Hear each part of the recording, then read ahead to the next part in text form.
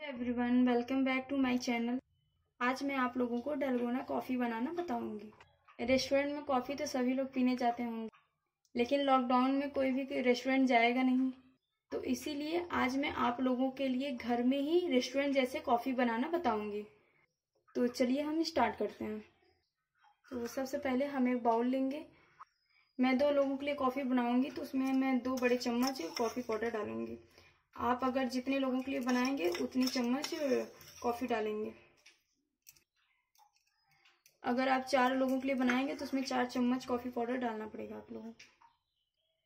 मैंने ये Nescafe coffee powder use किया हुआ है। अब मैं इसमें ढाई चम्मच चीनी डालूँगी।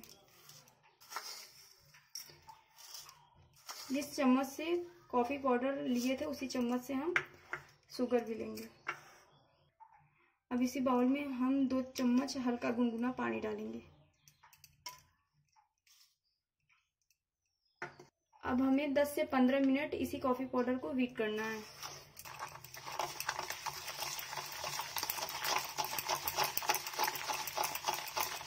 जितने अच्छे से आप वीट करेंगे, उतने ही अच्छा इसका फ्लेवर आएगा। देखिए फ्रेंड्स मेरे कॉफ़ी का कलर चेंज होने लगा है। और हमें स्वीट रखनी ही है। इससे कम स्पीड नहीं रखनी है और हमें ऐसे चम्मच से मिलाते रहना है। अभी इसमें दानेदार चीनी है, जब तक ये घुल न जाए, तब तक हमें इसे वीट करते रहना है।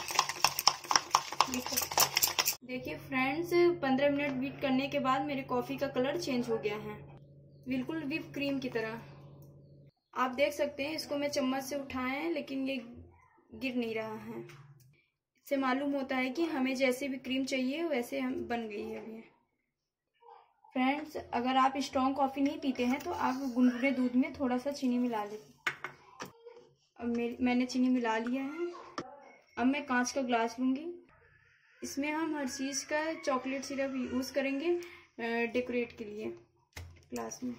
तो हम इसमें साइड साइड में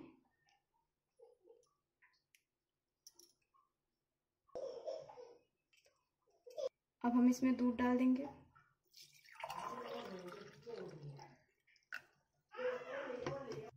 अब हम इसमें कॉफ़ी जो क्रीम की तरह तैयार किए हैं, डाल देंगे।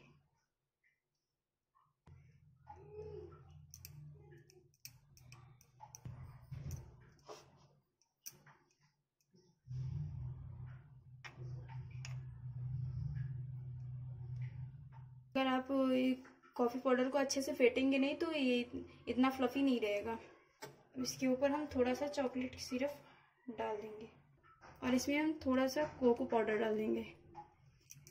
अब इस तरीके से डेकोरेट कर देंगे। अगर आपके पास कोको पाउडर ना हो तो आप कॉफ़ी पाउडर भी यूज़ कर सकते हैं इसके ऊपर से डेकोरेट के लिए। आई होप कि आपको ये मेरा वीडियो पसंद आएगा। तो अपने अपने घरों में ट्राई ज़रूर करिएगा और हमें कमेंट बॉक्स में बताइएगा कि आपको ये वीडियो कैसा लगा। तो मिलते हैं नेक्स्ट वीडियो में, तब तक के लिए thank you and bye bye